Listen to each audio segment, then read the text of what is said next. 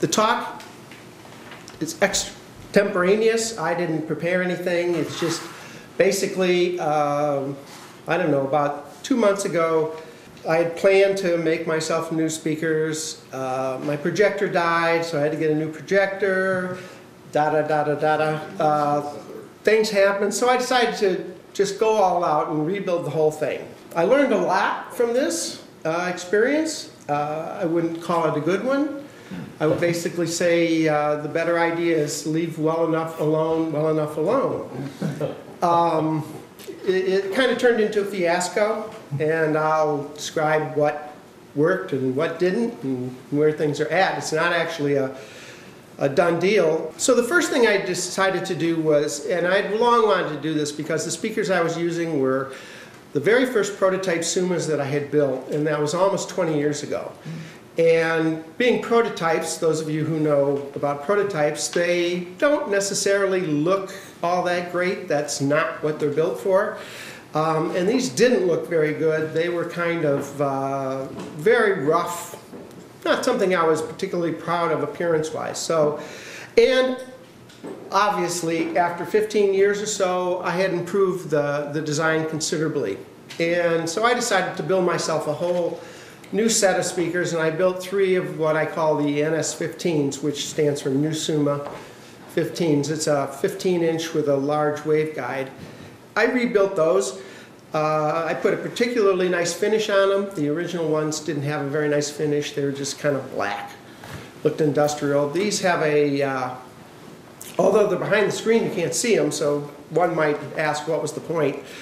Point is, I know they look good. They have a purple metal flake flat finish on them. It has to be flat when they go behind the screen because uh, the reflective speakers come through the screen and you can you can see them and that's that doesn't work very well. But if they're flat coated, that doesn't happen and uh, everything's copacetic. Uh, but these speakers, I was very, very happy with the finish. Um, after 15 years, I got where I could do a automotive quality finish on them.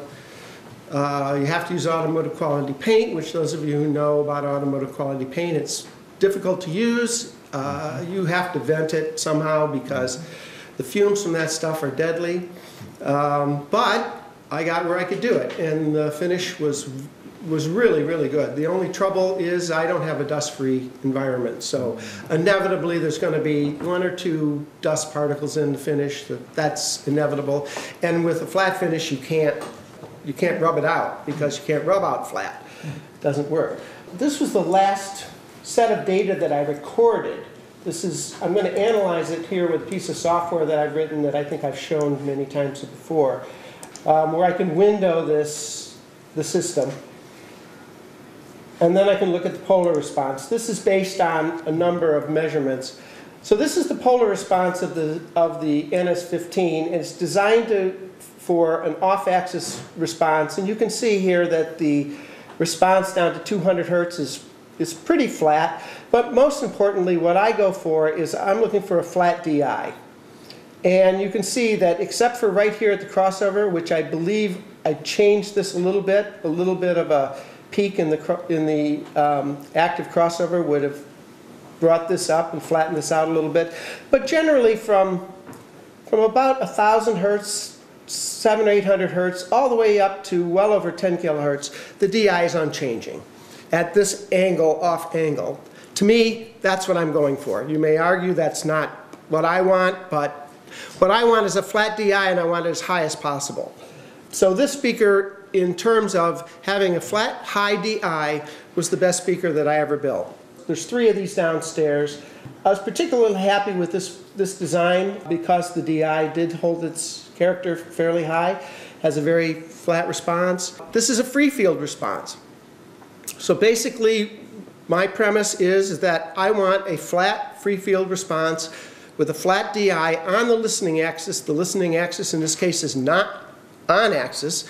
The speakers are towed in, they cross in front of you, so you're off axis, and they're designed to have a flat DI and a flat response at the listening axis, which is 22 degrees off axis.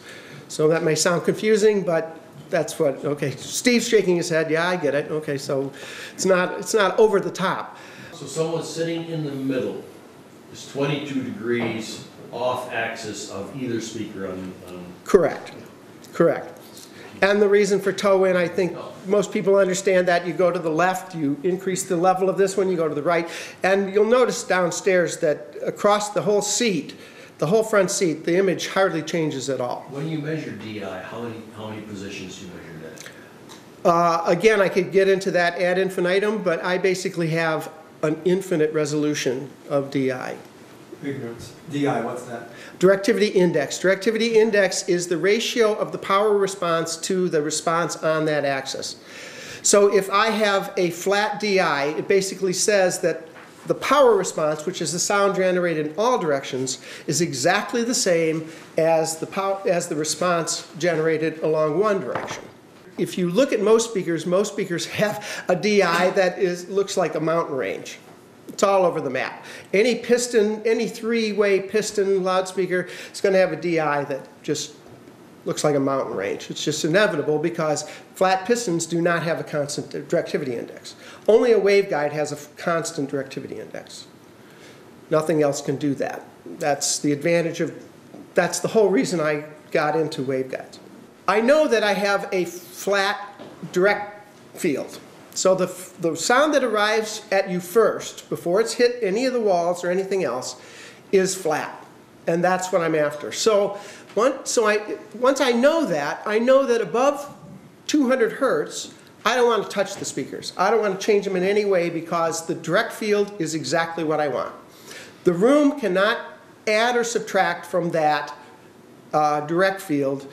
So if they're flat in the, in an anecho, if they're anechoically flat in the free field, then that's the way you want to leave them. Some people may argue that point. Not many people, I think, would argue that point. However, below 200 hertz now, all of a sudden the speakers are interacting with the room. The room becomes dominant. Below 100 hertz, the speakers don't matter in the least. The room will dominate the response. So we have to, we have to deal with that situation completely separate.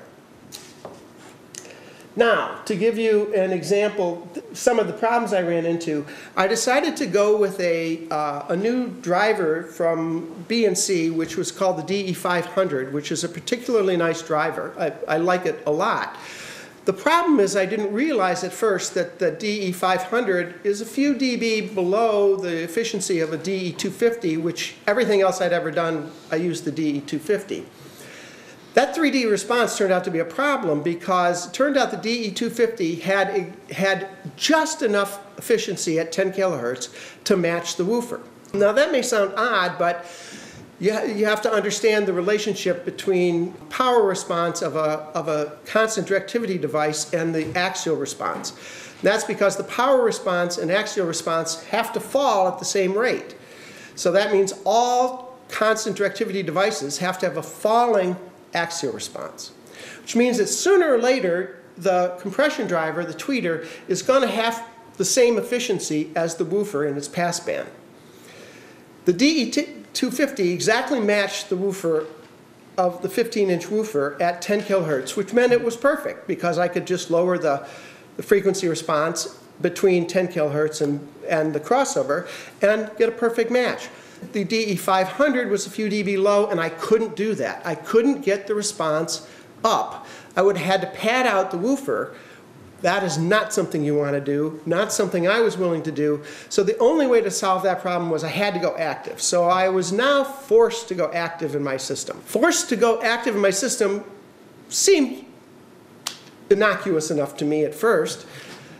I began to look around for, but I always wanted, I, I didn't want to have to, to buy very expensive electronics because I'm not an electronics buff. I, I'm an electronics minimalist.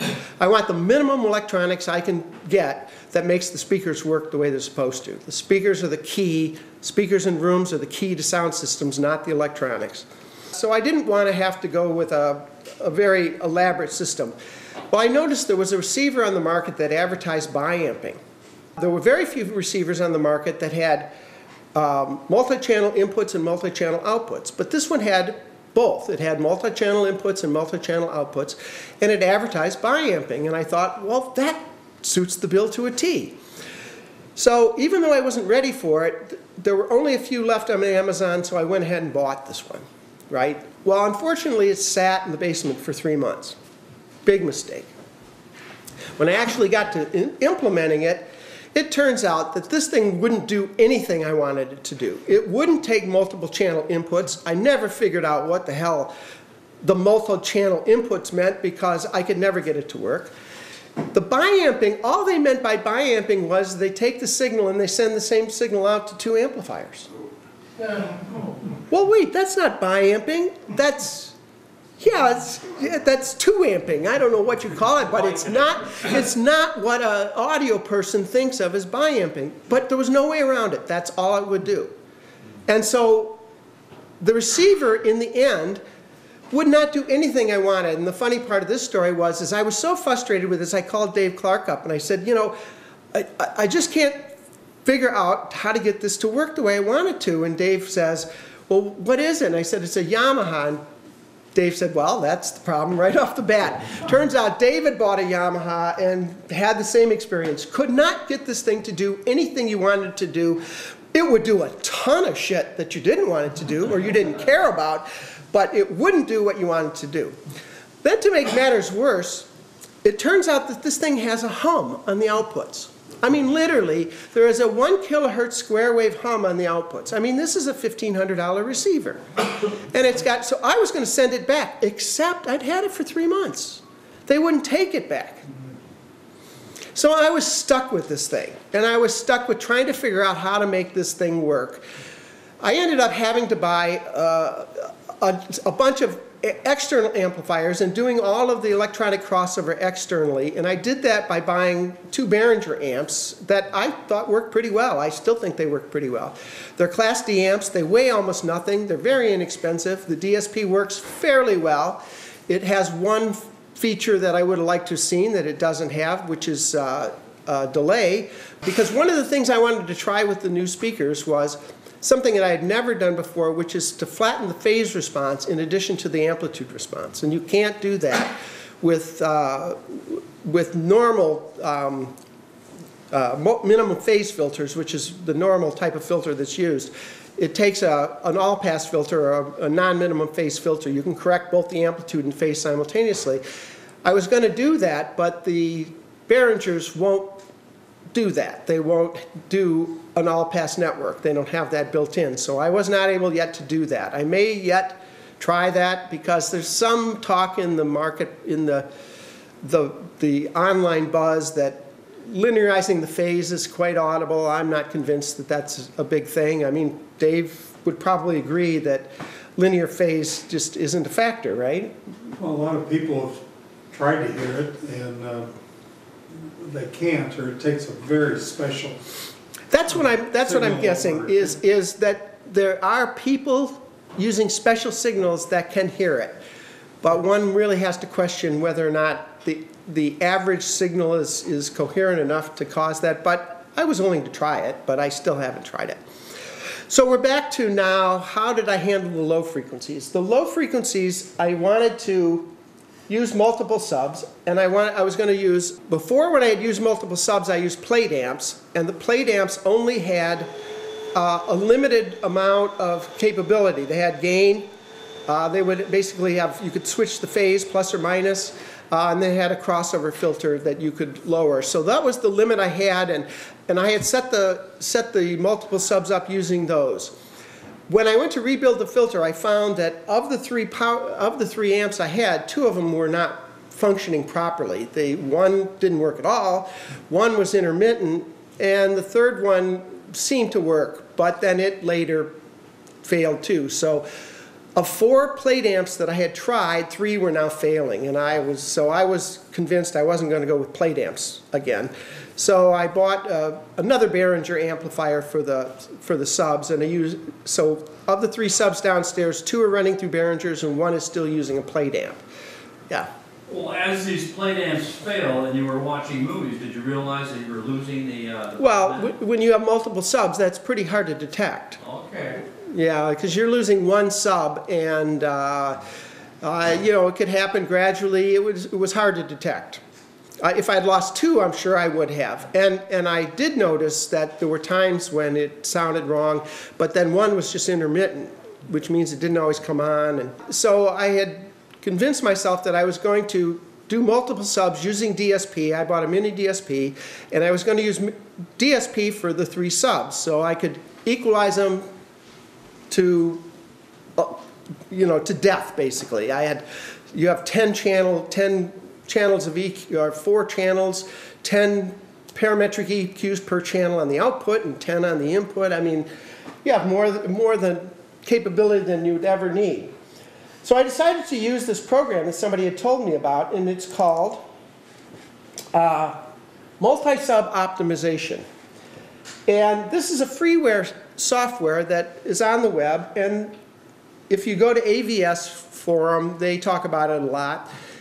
And I was reading about it, and the guy says that he decided to write the software based upon the presentation I did here on Smootums using the kind of kludgy technique I had. He wanted to write a piece of software that would do the same thing and make it available to everybody. So I decided to try that.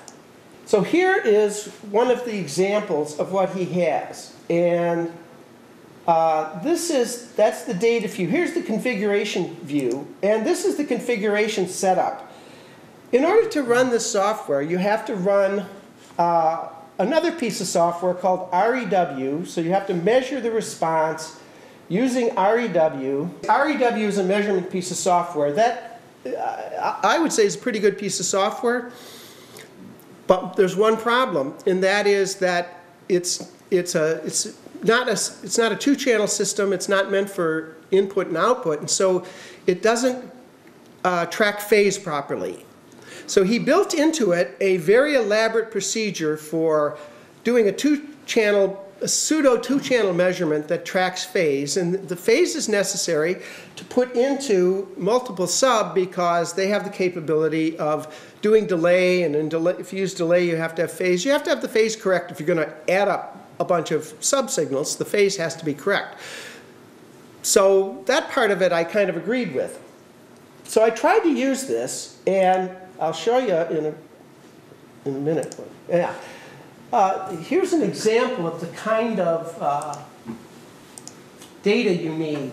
Um, I had I had four measurement positions and four sources. So I had three subs in the mains and four measurement positions. So I had to take 16 measurements that were all coherent. And I mean, it took me pretty much a whole day to just to do these measurements. And then I put them in the program. And in this program, you tell it what you want it to optimize. What, what can this, you know, you have parametric equalizers and all of this stuff, et cetera, et cetera. The first time I tried it, he had delay in there. So you could have it calculate the proper delay. And when I hit the optimize button, this thing ran amok. And it came back with delays that I was supposed to put into the subs of 20 milliseconds, you know? And I'm going, wait a minute, 20 milliseconds delay, that doesn't, that makes no sense. Why would you need 20 milliseconds of delay? I, I couldn't figure out what it was doing, but of course I don't know what it's doing behind the scenes. I don't know what its optimization is based on. So, but the parameters just looked all crazy. So I decided to pare down the, the calculation, take out the delay, which this kind of bothered me because here this guy was supposedly writing the software, implementing stuff that I had talked about, except that I never use delay because, as far as I'm concerned, below 200 hertz, when you're in the modal region of the room, only thing that counts is steady state because your ear can't process signals fast enough for the room to not bounce around the room several times. For instance, it takes at least 10 milliseconds to, to, or more than that, 20, 30 milliseconds to process, for your ear to recognize a 100 hertz signal. A 100 hertz signal has a 10 millisecond period.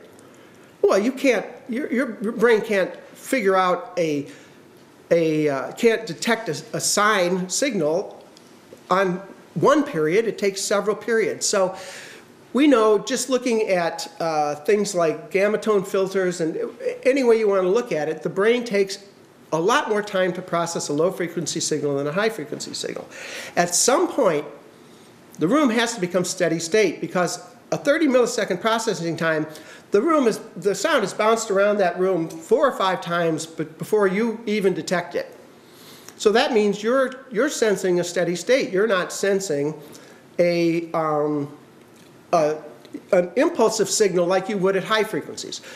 You can detect a high frequency 1 kilohertz, 4 kilohertz signal. You can detect that in microseconds, less than a millisecond.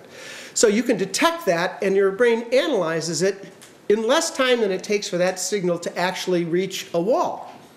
At 100 hertz and below 100 hertz, that isn't true. You cannot do that. So the only thing that matters to me is the steady state.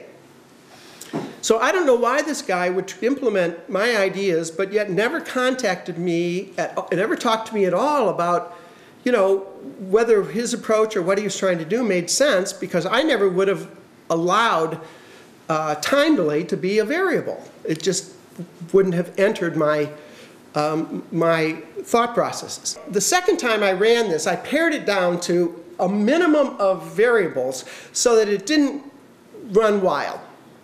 And then when I went back and I implemented all this and programmed it in, I wasn't happy with it at all. It just did not sound as good as what I'd had before using simple uh, plate amps.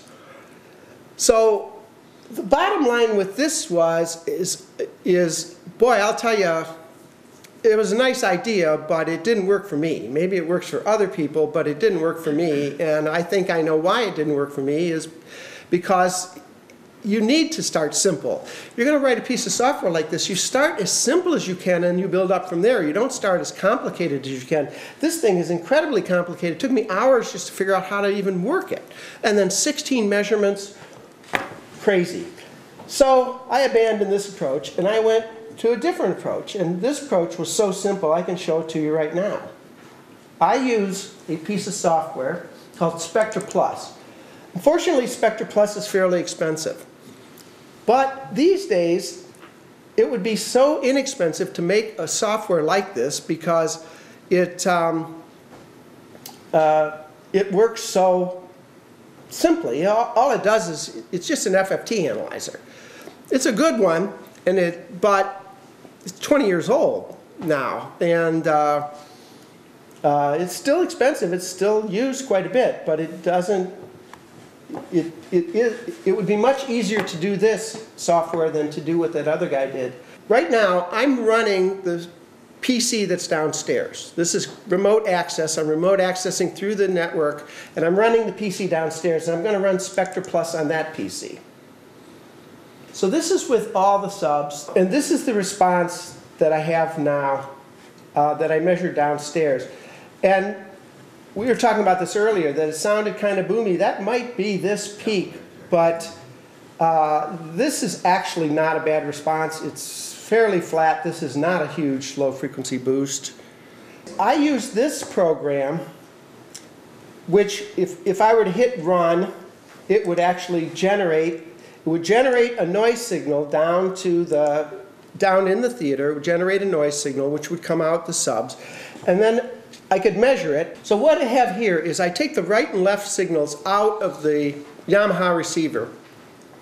And believe it or not, because it only has, here's another one. It has sub-outs, right?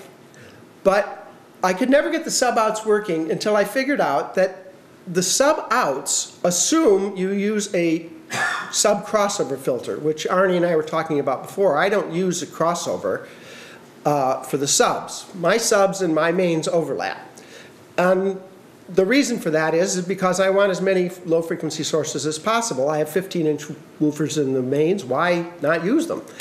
So I don't cross over. There's no hard crossover where the mains stop and the subs pick up. That doesn't happen. The mains roll slowly off. The subs come in. There's a large overlap. Things blend nicely. Can't do that with the Yamaha. The Yamaha will only send out low frequency signals to the sub out that are below the crossover point that you specify in. Well, there's no crossover point that in there that's going to work for the way I do things. So again, here's this wonderful, expensive AVR that does things not right, in my opinion. Why can't it do it? My, my old Pioneer would do that. It had a function called, uh, oh, I don't remember what it was called, but it would send all the low-frequency signals out to the sub-output if you click this button, or it would just send the, uh, it would do exactly what the Yamaha does. The Yamaha doesn't have that option. It doesn't, so, And when you, and when you tell it no subwoofer, it does not send anything out the subwoofer channel. right, Yeah. right. The the Oppo works the same way. Does it? That's the, you know, industry darling for Yeah, that, coders. okay, well, I just use the, uh, the, the full range signal. Yeah. And, and, and for the subwoofer and filter it. yeah, I use a Y adapter. There's a Y adapter out, and, and two of the signals go down to the Behringers, and two of the signals go to the mini DSP. That's left and right here. Then these, of course, are mixed, and they go, and that's by s- selecting these. See, uh, this selects input one goes to output one, input one goes to output two, but then input two goes to output one. So basically, it's mixing. It's mixing those two signals. And we were talking earlier about the one thing that I haven't got in here yet is I have no capability for LFE channel. Because right, left, low frequencies in LFE is three signals. The mini DSP only has two inputs. So I'm going to sum the two right and left using a resistor ladder and then bring those into one channel and then the LFE channel will come into the other channel, but that's one of the things I haven't got in yet. So it doesn't yet have um, LFE. But this has more than enough capability. You've got uh, PEQs on the input, you've got PEQs on each output, so this is each of the subs, different subs. I can use a crossover, a PEQ. In some cases, I use a lo- low-pass filter. Uh, One of the subs had a, um, so the way I did this was, is I went to each sub, and by the way, I can turn off the subs here. So I can generate a signal, and then I can turn off each individual subs by muting it. Unfortunately, this uh, screen is smaller than mine downstairs, so I can mute one, and I can look at each sub, so I can look at how that sub blends with the main. And if, if that, if there's nothing radical there that I see that's a major problem, I don't touch the PEQ or anything else. I just set the level so it's about right to blend with the main. I start with the speaker that's closest. In every case, there was a strong peak at 40, at about 40 hertz. That, that was in the mains, that was in every single sub, so I actually went into the receiver and I cut that out of the actual signal coming out of the receiver. I, I dropped the 40 hertz resonance in that room down by about 15 decibels, so that every single signal has that cut out of it. Then I looked at each one independently, and if I saw anything beyond that, I might tweak in. For instance, I don't know if I tweaked in uh, this one at all. See, this one's flat. Um, This one's flat. This one's flat. There are some crossovers in this one. For instance, there's a fairly steep crossover in this one because it had a fairly strong 200 hertz resonance from the, uh, the bandpass filter port. So that helped me cut that one out. And then uh, I believe this one, anyways, I would set each one up separately, addressing major problems, not worrying about how they blended together. Then I turned them all on and I'd look at the frequency response and I'd go back to the input and I would adjust PEQs in the input to correct the overall response. Now, one of the things this does not do, and, and I'm now changing my opinion on this, is I'm not looking at spatial variance anymore. I'm only looking at one microphone signal in the, about the listening position. And I'm not worrying about the spatial variance. And my conclusion there is simply that if you use multiple subs, you're going to minimize the spatial variance pretty much as good as it's going to get. That you might be able to tweak it in a little bit by adjusting each individual source independently, which is what multiple sub tried to do. But I'm not sure that bought me anything. And in fact, from my experience, it didn't buy me anything. So I'm now concluding that spatial variance is handled by multiple subs. And that all you need to do once you've done multiple subs, again, not clustered in one place, but they're around the room, Then you just need to go in and correct the frequency response. And that can be done in the steady state in real time. And I was able to do this in real time. I could go to the, I could go to Spectra Plus, and I could look at the response, and then I could go back to mini DSP and adjust it. That would happen in real time. I could go back and measure. I set up these subs in about an hour with this technique. And in my opinion, it was far better than what I got using the multiple optimization program. That's what I'm using now, and if somebody out there wants to write some software, use a steady state noise signal and just make it simple. Don't make it so complex that, it, that it's overly complicated to use. My understanding is very few people use this multiple sub, and that probably, my experience is it's overly complicated and it doesn't do the job. A few years ago, or a couple, maybe a year ago, or two or three, you were advocating a program that actually did sweeps and generated Okay, impulse responses. right, I still use that. You still use that? Yeah, and let me show you that. This is in the room. That's HOLMImpulse. Yes. Now, if you do in the room results with HOLMImpulse, then generally people believe, and I kind of concur to a certain extent, that what you want to use is this, is the option here called complex smoothing. This one didn't seem to have complex smoothing, but um, what complex smoothing does is the window is very short at high frequencies and it gets longer and longer and longer at low frequencies, which is very similar to what the ear does because the ear processes high frequency signals very rapidly and low frequency signals take a lot longer. So in the, on the web uh, talk rooms these days, this complex filtering is what people are claiming is the right way to do it. Dirac and all these companies, that's what they're using. The, the reason I'm, I'm curious is because, you know, a couple of years ago, you were advertising the HOLMImpulse.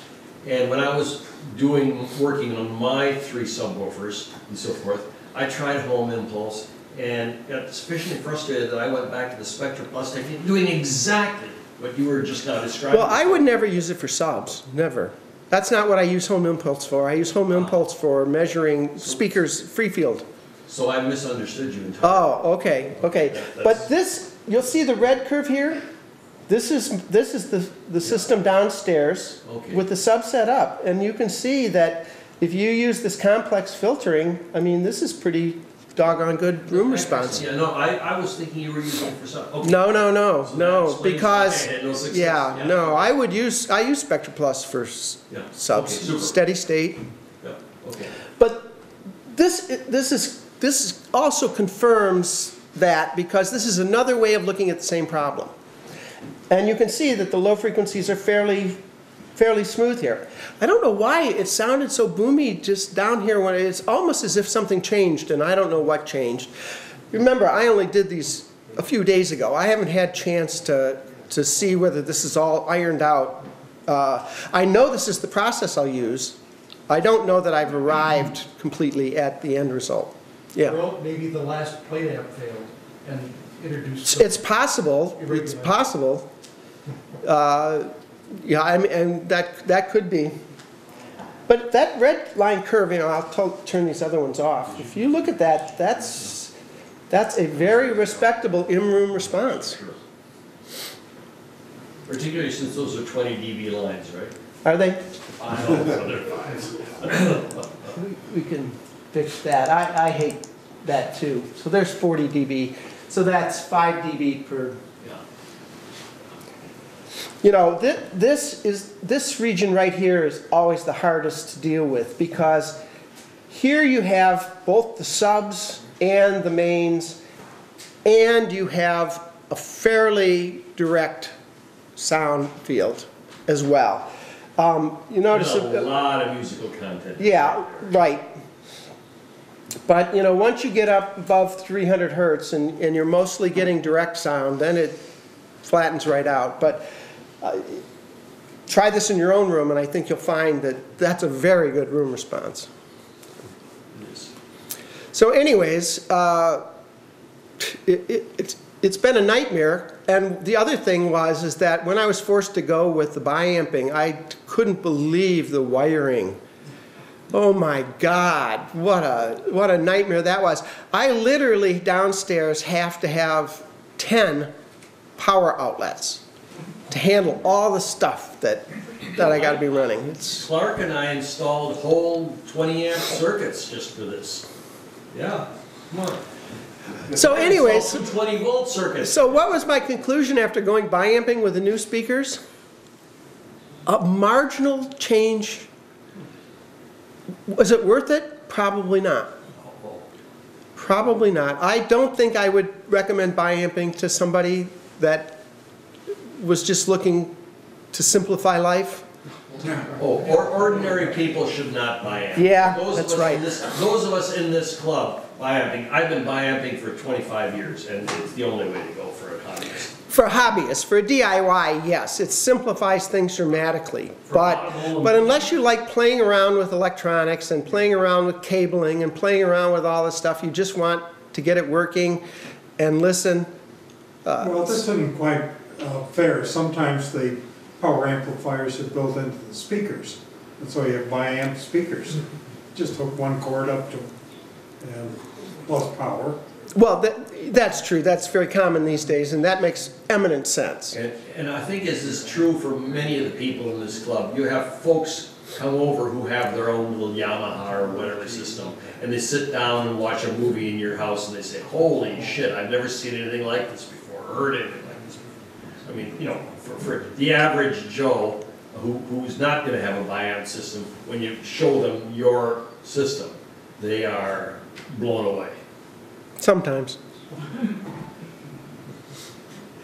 Yes, biamping, if you're gonna, if you're gonna produce a loudspeaker, biamping makes perfect sense. If you're gonna build the amps into the, the, the speaker. Um, my experience with plate amps tells me that may not be such a good idea. Uh, you know, I, I can't think of a worse place to put a power amplifier than inside of a loudspeaker.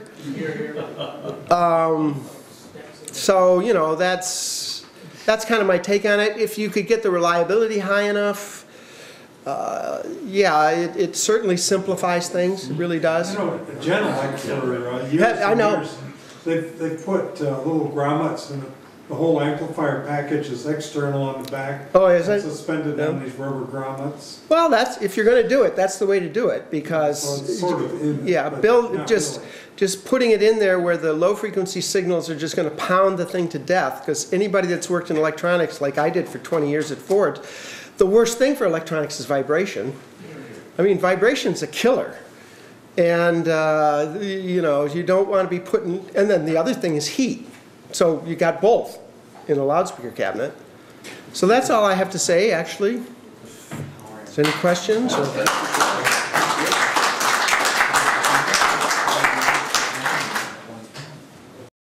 This program has been a production of the Southeastern Michigan Woofer and Tweeter Marching Society. Opinions expressed during this program are those of the individual speaking and not necessarily the opinion of the Southeastern Michigan Woofer and Tweeter Marching Society.